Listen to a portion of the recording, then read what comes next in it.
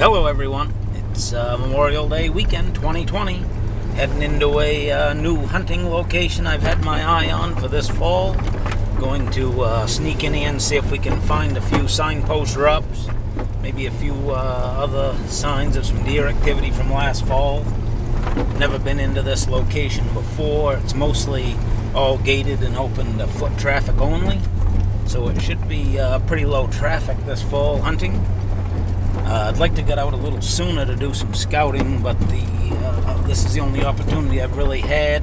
The leaves have got quite a jump on me, so the visibility be down some, but it'd be a good day out in the woods otherwise, and uh, hope to keep you up to date on what I find. Alright, I've started to get down into this little spot here. If you look right over here, I'm working my way along this giant bog. It's not really fit for man and the beast. Up on this higher side, we got the transition into the hardwoods. Working the way up the ridge. So I'm just kind of working my way along this buffer zone here between the green green growth and the hardwoods. See if we can pick up any sign. I've seen a few tracks so far of uh, some deer this spring, but nothing that looked like it was last fall yet. So uh, we'll keep moving along here until we have uh, light enough to see and uh, see what we can find.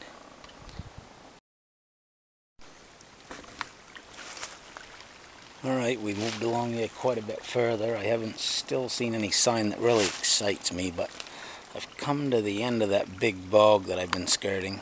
I don't know if you can see right out there with the ridge in the background, but I found this nice uh, little trickle that's running down into it. And uh, this trickle should lead me right back up to the uh, height of the land here where the watershed starts going the other way. So I'm going to sneak up the edges of this, see if I can pick up a little sign along here and uh, finish the day out on this. And uh, if we don't find anything, I'll probably uh, move up into the higher ridges tomorrow, chasing a few trickles up over there, and uh, we'll see what we can find. Alright, I followed that trickle up to the height of the land. It's all fed off a giant beaver pond here. This is the last beaver pond on that trickle. I've skirted two or three coming up through there. So from this high point here, the uh, all the water will start running the other way into another drainage system. Uh, it's about 4 o'clock now, so I think I'm going to start working my way back out. I probably got a good hour and a half, two hours to the truck. Uh, got a good game plan for tomorrow. I'm going to move up the ridge further here and uh, work the edges of the softwood. If you notice the ridge here, if you can see up top. Start working my way up, kind of skirting that edge, that green growth and hardwood, and uh, see if we can follow any trickles up along there, look for some sign.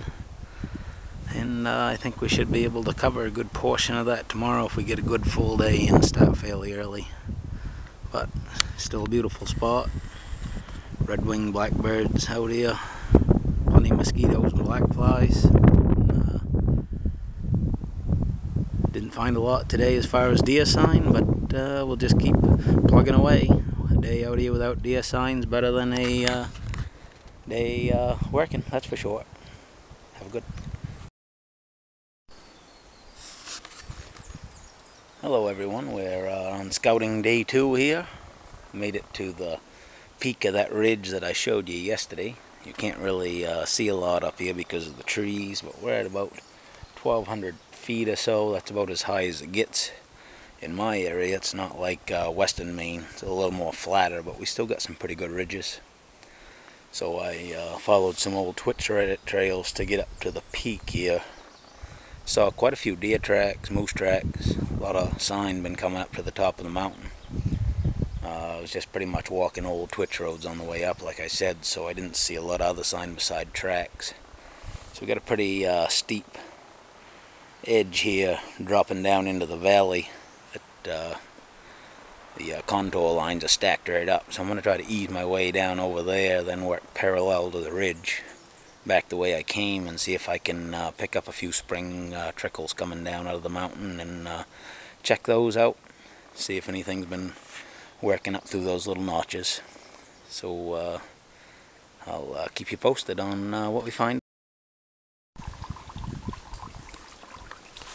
Well, I've been working parallel to this ridge and I found uh, what I was looking for here, a nice uh, headwaters of a nice little spring that's going to run down into the valley here.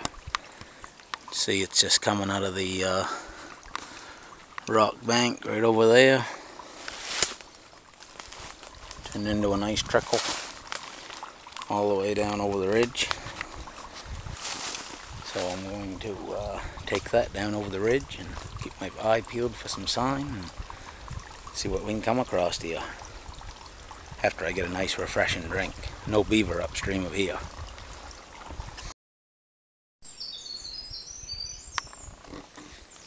Alright, I started working my way down this edge. It's a nice stand of uh, mature spruce down through here. It was just uh, too steep for them to get in here and cut.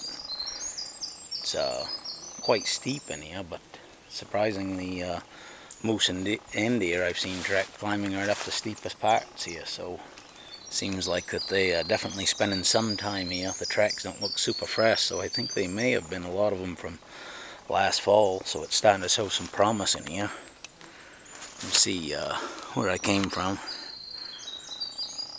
Pretty, pretty steep. The camera doesn't really do it justice though. Oh, black fly on my lens. You can see I'm starting to get to that buffer zone where the uh, hardwood is starting to meet these mature softwood.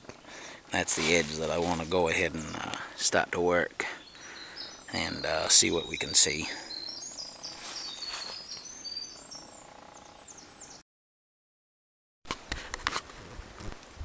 Alright, I followed that trickle all the way down over the ridge and I'm right down on the back side of that bog that we uh, was looking at yesterday. Just wanted to show a nice uh, moose rub here. That took out a little aggression last uh, fall. Been a ton of moose sign down in here. Keep my eyes peeled for some sheds as I go around.